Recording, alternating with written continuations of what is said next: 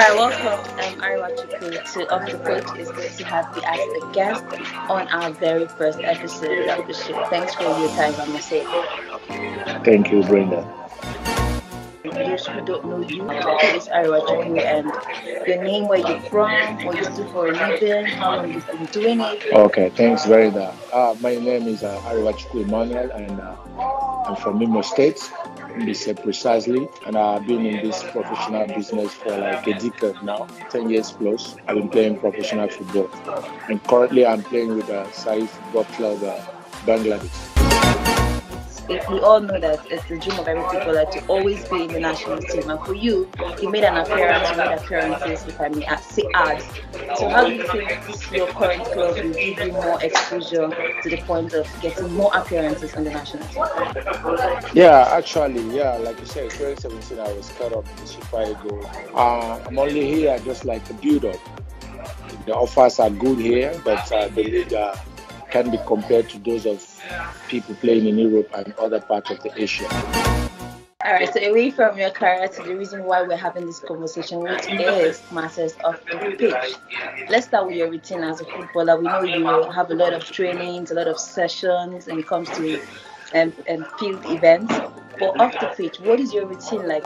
if I'm not uh, playing, most most of the times I, I, I read books. I'm a good uh, lover of reading so many books. I read books and uh, talk with my family and watch movies. You mentioned family, and um, I'm assuming you mean your immediate family. So tell us, are you married? Are you single? Do you have children? Well, I'm a married guy. Yeah, I'm a, I'm, I'm a proud father of four kids. Wow! Uh, Yeah, and I I spend most of my time off pitch with them. Think the other challenges that um, footballers go through that um, the fans don't know about.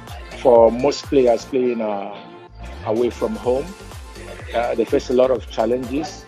I think injury is the biggest one.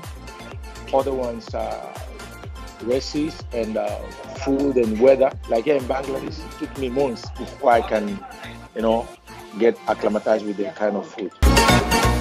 Your skill, your talent is in playing football, soccer, and all of that. Are there other hidden talents you have as a footballer? Aside football, I think uh, I'm a multi-talent guy because whatever I set my mind on, uh, I do it very well. I'm a graduate of computer science from Federal Polytechnic Nekede. Wow! So impressive.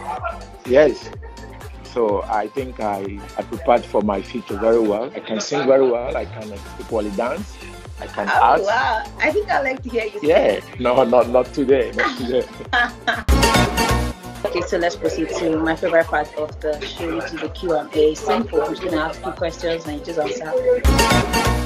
Okay, so who's your favorite career role model when it comes to your career as a footballer? Who do you look up to? Who do you aspire to be? Sergio Ramos. All right, so who's your favorite artist? Yeah, my favorite artist. Yeah, Timaya. Uh-uh, I can see the dreads. Yeah. Do you have a celebrity crush? I know you said you're married. If you do, you can answer this question. But if you don't, you can just say no, I don't. Yeah, I do. My wife knows about that. In here, though.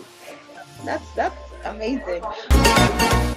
Okay, so finally, what's your favorite quote in life and why? My favorite quote in life: "All for one, one for all." I'm a leader, you know. Anywhere I go, I'm a leader. I have this quality of of uh, turning ship to words, you know. Yeah. So when we stand for each other, we win. But when we stand uh, divided, we fall. Okay, to it's been amazing talking to you. So, um, just before you go, your parting words to your fans, your followers, your family, just all around the world, Nigeria and everywhere else. Wow. Um, I just want to say a big thank you to my fans, my family most especially. I just want them to keep praying for us. You know, this journey is a difficult one. It's not about your talent. It's not about how strong or how fit you are. It's just the grace of God. I'm telling you. So we need their prayers every time. We need their support. All right. Uh, thank you so much once again, and do have a great season um, this period. Thank you.